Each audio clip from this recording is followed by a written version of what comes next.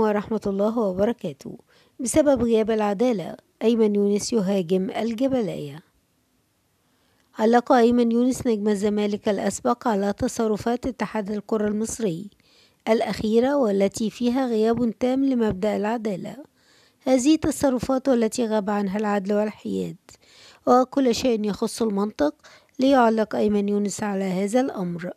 وعبر صفحته الشخصية على موقع التواصل الاجتماعي تويتر كتب أيمن يونس قائلا تتحدثون عن نبذ التعصب والتطرف وأنتم صنعوها بسلبية موقفكم وعدم التعامل مع الرأي العام باحترام وبعدم الجدية والقوة في تنفيذ اللوائح بشكل عادل على الجميع عيب أين عقوبة الكهرباء؟